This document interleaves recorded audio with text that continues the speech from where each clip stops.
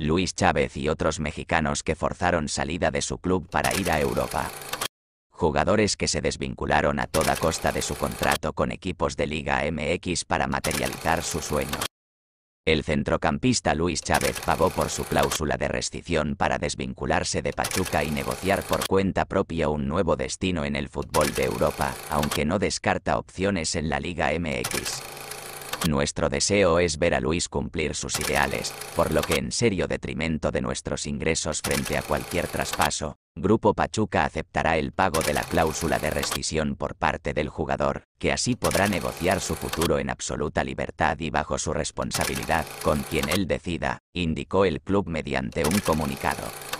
El caso de Luis Chávez no es el primero en Liga MX, pues otros jugadores han encontrado el camino poco ortodoxo para encontrar su ruta hacia el viejo continente con resultados tanto positivos como desfavorables.